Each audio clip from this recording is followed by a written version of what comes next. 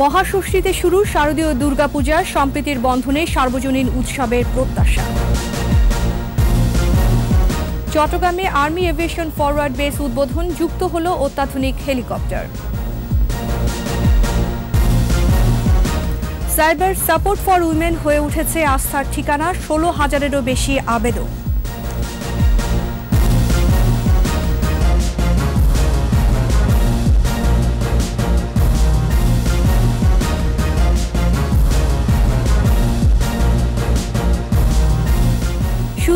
first security Islami bank limited সংবাদ শিরোনাম, আমন্ত্রণ দুপুরে দুইটার একুশে সংবাদে। সাথে আছি আমি আশা সাবেরা। দর্শক, একুশে টেলিভিশনের সংবাদ একই সাথে সরাসরি দেখতে পাবেন আমাদের Facebook page W W W dot Facebook dot com slash Ekushey twenty four অনলাইনে। এছাড়া সংবাদে আরও থাকছে। সীতাকুণ্ডের সহস্রধারা দুয়ের ট্রেল জুড়ে নৈসর্গিক মুগ্ধতা, সবুজের স্বর্গে ঝর্ণার সঞ্জীবনী সুর।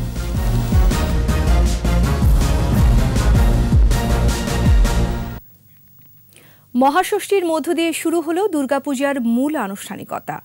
সম্প্রীতি আর আত্মিক বন্ধনে উৎসব হবে আনন্দময়, এমন আশা ভক্তদের। শারদীয় দুর্গ উৎসবের বিশ্বজনীনতা তুলে ধরেছেন প্রণব চক্রবর্তী।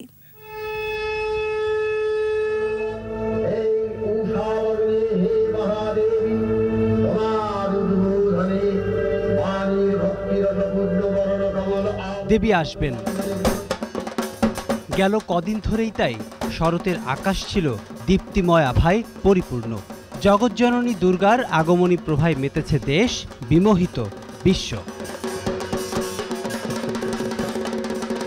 মনের সব কালিমা ঘুচে বাঙালি মায়ের মতোই পোশাকি দুর্গা হয়ে উঠবে সার্বজনীন সর্বময়। মন্দিরে মন্দিরে তাই আনন্দ আহ্বানে সাড়া দিচ্ছে ভক্তরাও। আমরা হয়তো সর্বসমর্থ সময় মতোই আমরা কাজটা ডেলিভারি দিতে পারব। সরকারি বিধি মেনে আমরা পূজা অর্চনা করছি। আমাদের পূজার আয়োজন প্রায় শেষ। আমরা সেই সাড়ম্বরভাবে আর পূজা করতে পারছি না। আমরা মায়ের পূজাগুলা আহ, অনাড়ম্বরভাবেই করছি। মহাষষ্ঠী বরণে আলোর ঘন ঘটায় প্রতিটি মন্দির। এই আনন্দের বিচ্ছুরণ ছড়িয়ে যাবে জগতের সর্বত্র। মন থেকে মননে। আমরা মোটামুটি সম্পূর্ণভাবে প্রস্তুত। আগামীকাল থেকে পূজা শুরু হবে।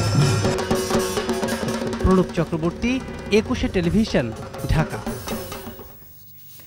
এদিকে দেবী বোধন ও অধিবাসের মধ্য দিয়ে মহাষষ্ঠীতে দেশজুড়ে শুরু হয়েছে শারদীয় দুর্গ উৎসব ঢাক ডোল আর কাঁসার বাদ্যে মুখর মন্দির মণ্ডপে চলছে পূজার আনুষ্ঠানিকতা। এবছর গাজীপুর জেলায় চারশো এগারোটি পূজা মণ্ডপে পূজা হচ্ছে।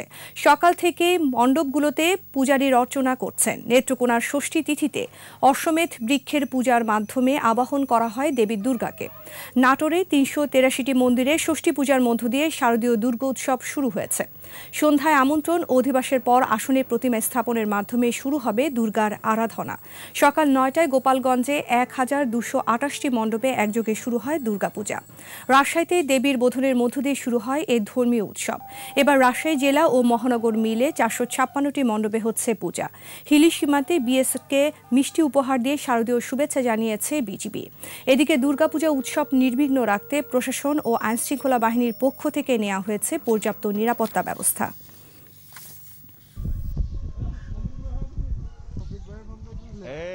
ভাই না দাদা।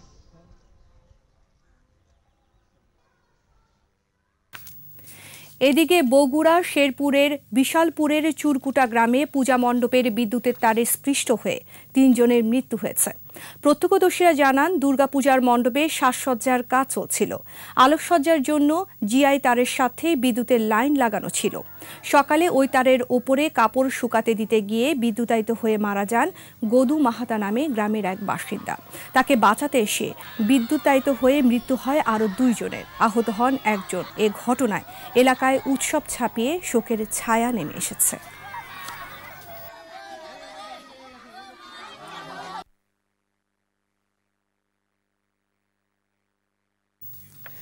প্রধানমন্ত্রী শেখ হাসিনার সঙ্গে সৌজন্য সাক্ষাৎ করেছেন রাশিয়ার রাষ্ট্রীয় পারমাণবিক শক্তি কর্পোরেশন, রোসাটমের মহাপরিচালক অ্যালেক্সি লিখাচেভ। প্রধানমন্ত্রীর সরকারি বাসভবন, গণভবনে এই সাক্ষাৎ হয়। রোসাটম বাংলাদেশের রূপপুর পারমাণবিক বিদ্যুৎ কেন্দ্র নির্মাণে কারিগরি সহায়তা দিচ্ছে।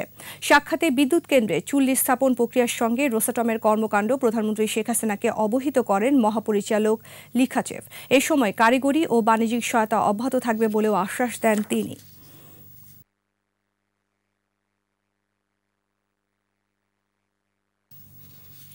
সেনাবাহিনীকে আরও আধুনিক ও যুগোপযোগী করতে চট্টগ্রামে উদ্বোধন হল আর্মি এভিয়েশন ফরওয়ার্ড বেস। পাশাপাশি সেনাবহরে যুক্ত করা হয়েছে যুক্তরাষ্ট্র থেকে আনা অত্যাধুনিক দুটি হেলিকপ্টার। সকালে সেনাপ্রধান general S M Shafiuddin Ahmed আনুষ্ঠানিকভাবে এভিয়েশন ফরওয়ার্ড বেস উদ্বোধন করেন। এ সময় সেনাপ্রধান বলেন দু হাজার ত্রিশ সালের মধ্যে ফোর্সেস গোল অর্জনের অংশ হিসেবে এই হেলিকপ্টার কেনা এবং এভিয়েশন বেস স্থাপন করা হলো।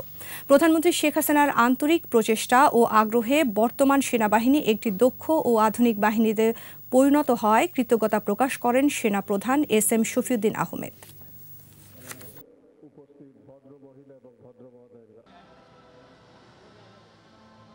জাতীয়ভাবে গুরুত্বপূর্ণ স্থাপনার তাৎপর্য বিবেচনা করেই চট্টগ্রামে এই আরবি এভিয়েশনের ফরওয়ার্ড বেস স্থাপন করার সিদ্ধান্ত গ্রহণ করা হয়েছিল।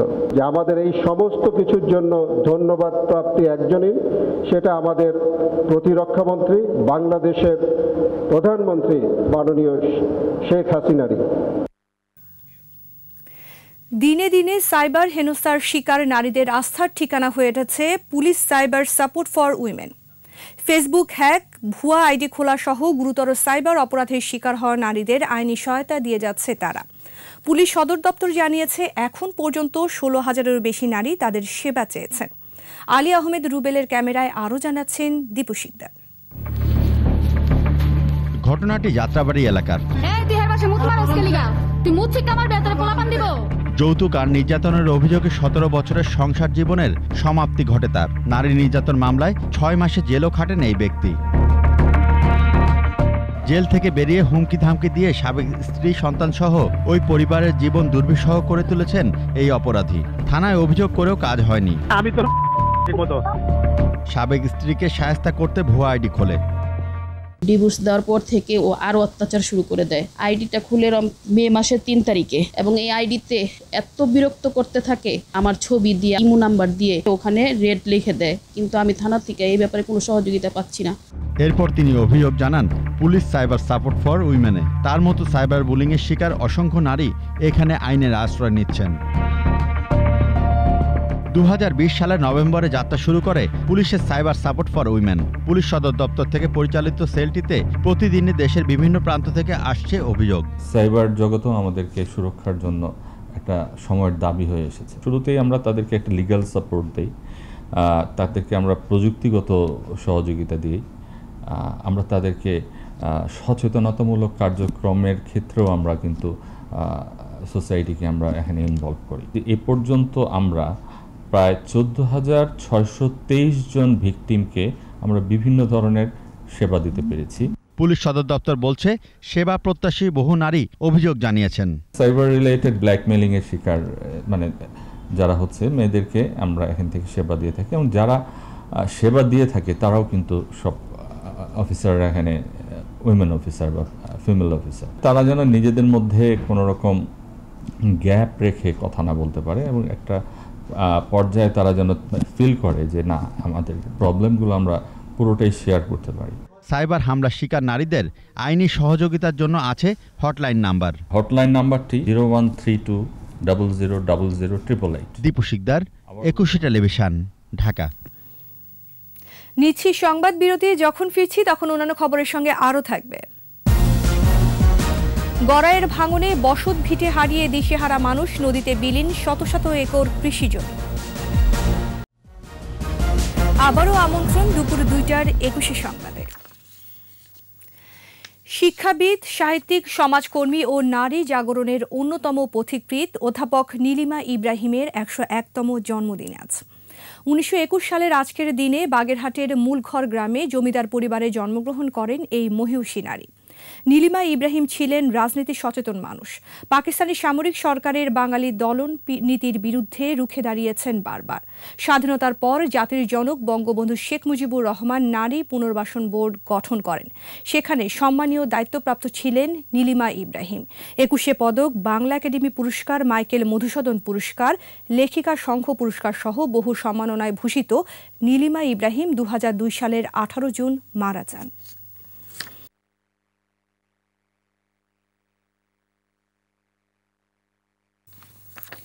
নদী ভাঙনের কবলে রাজবাড়ির বালিয়াকান্দি উপজেলার নাড়ুয়া ও জঙ্গল ইউনিয়নের অন্তত চোদ্দটি গ্রাম।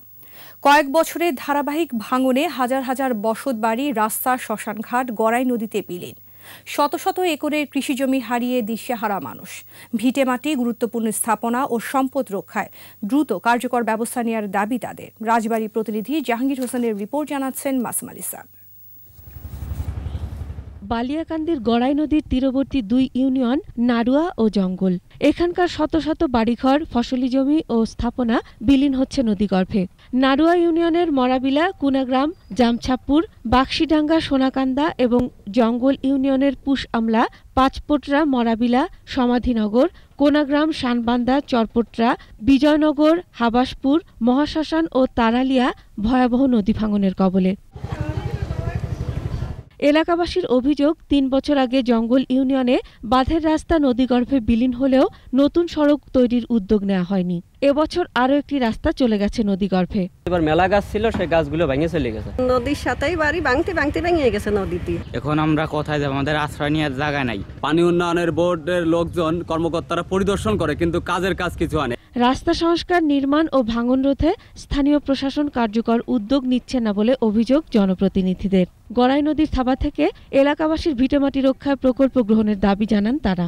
নদী গর্ভে বিলীন হওয়ার কারণে তাদের জমি জমা সব কিছু হারিয়ে তারা রিক্ত নিঃস্ব অনেকেই মানবতার জীবনযাপন করছে। দেখা যায় যে ওই ভাঙনের সময় আসলে কিছু জিও ব্যাগ দিয়ে একটু ভাঙনটা ই করে রেখে চলে যায় কিন্তু সেইভাবে কোনো কাজ হচ্ছে না। তবে নদী ভাঙন ঠেকাতে সমাধিনগর নিশ্চিন্তপুর ডোমাইন সহ আরও কয়েকটি স্থানে কাজ শুরু হবে বলে জানিয়েছে পানি উন্নয়ন বোর্ড। নারুয়াতে আমরা দুইটা প্যাকেজে আমরা নদীতে সংরক্ষণ কাজ করছি। সমাধি নগরে আমরা জিও টিউব দিয়ে আমরা কাজটা করে দিব নদীতে সংরক্ষণ কাজ যাতে ভবিষ্যতে আর না ভাঙে। এছাড়াও আরও যে নিশ্চিন্তপুর সমাধিনগর, ডুমাইন এই জায়গাগুলোতে আমরা কাজ করব। আমরা নদী ভাঙনের জন্য যা যা করা দরকার আমরা ব্যবস্থা নেব। বছর বছর ভাঙতে থাকলে একসময় বিস্তীর্ণ এলাকায় গড়াই নদীর গর্ভে হারিয়ে যাবে বলে আশঙ্কা স্থানীয়দের। তাই অবিলম্বে কর্তৃপক্ষের কার্যকর পদক্ষেপ দেখতে চান তারা। মাসমালিসা একুশে টেলিভিশন। এবার আমাদের বিশেষ আয়োজন আমার বাংলা।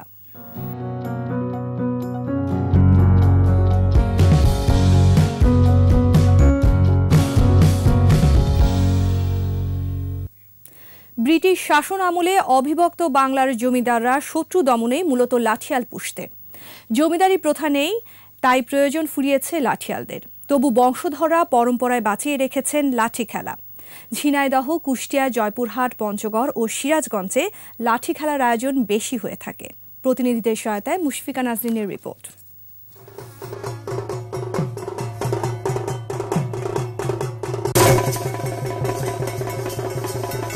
সভ্যতার শুরুতেই বাঁশের লাঠি হাতে তুলে নিয়েছিল মানুষ। কখনো প্রতিপক্ষকে আঘাত করতে, কখনো বা হিংস্র প্রাণীকে প্রতিরোধ করতে লাঠি চালানো নানা কৌশল আবিষ্কার করে তারা।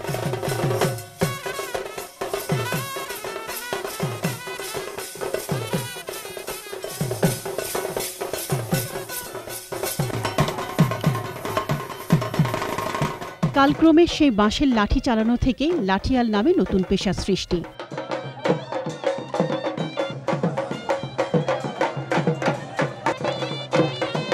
লাঠি খেলায় সাধারণত পঁচিশ থেকে তিরিশ জন অংশ নেন। দলে থাকেন একজন নেতা, যাকে ওস্তাদ ডাকা হয়। কার্তিক অগ্রহায়ণ মাসে এই খেলা বেশি হয়।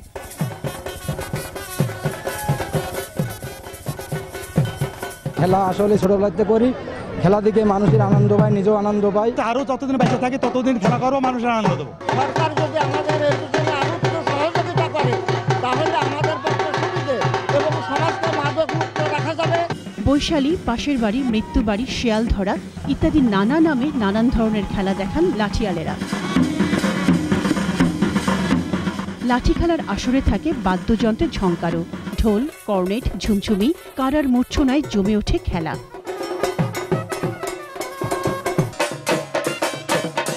করোনা মহামারীতে দীর্ঘদিন বন্ধ ছিল লাঠি খেলার আয়োজন। অনেকদিন পর হারানো এই ঐতিহ্যের খেলা দেখতে পেয়ে খুশি দর্শকরা।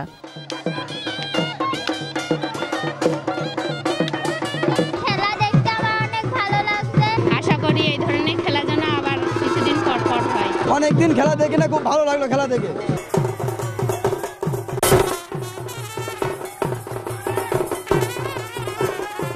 মুশফিকা নাজনীন একুশে টেলিভিশন। আর এরই সাথে শেষ করছি দুপুরে দুইটার একুশে সংবাদ। যাবার আগে first security Islami bank limited সংবাদ শিরোনামগুলো আরও একবার। মহাষষ্ঠীতে শুরু শারদীয় দুর্গাপূজার সম্প্রীতির বন্ধনে সার্বজনীন উৎসবের প্রত্যাশা। চট্টগ্রামে আর্মি এভিয়েশন ফরওয়ার্ড বেস উদ্বোধন যুক্ত হল অত্যাধুনিক helicopter. Cyber support for women হয়ে উঠেছে আস্থার ঠিকানা, ষোলো হাজারেরও বেশি আবেদন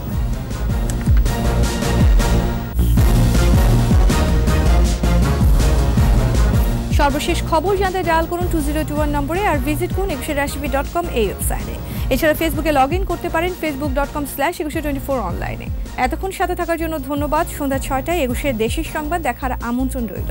স্বাস্থ্যবিধি মেনে চলুন, সুস্থ থাকুন। ধন্যবাদ।